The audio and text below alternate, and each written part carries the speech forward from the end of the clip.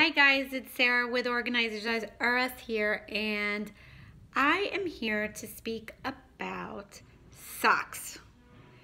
I have major abundance of socks and I'm to just turn the camera around and just show you just the abundance that we're looking at here.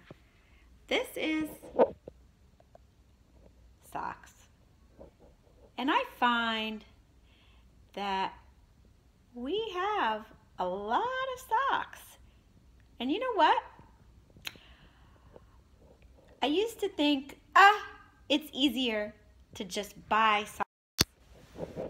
Buy new socks.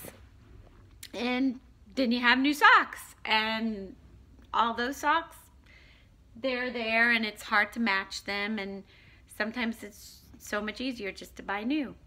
But as I sit here and I reflect, as I am matching, which you see that pile over there, that's because I was matching them.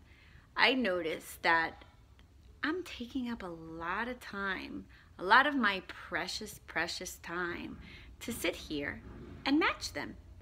And if I had less of the socks, then I don't think I would spend so much time matching because I would only have.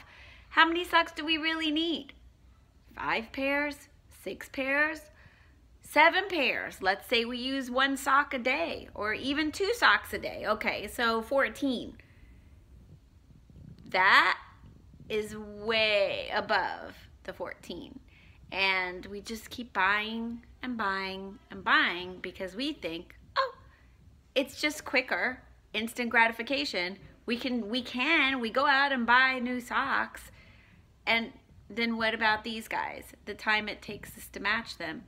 I get it. It's not as efficient but it looks a bit wasteful. And if these all these socks were plastic bags then we have a lot of animals out there that are dying from these plastic bags. So I sit and I match my socks.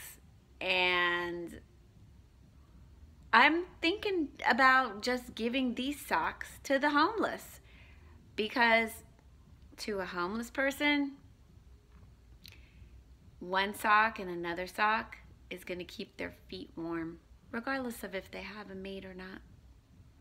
Anyway, Sara from Organizers-R-Us here. Thanks for coming and visiting me and my socks. Bye.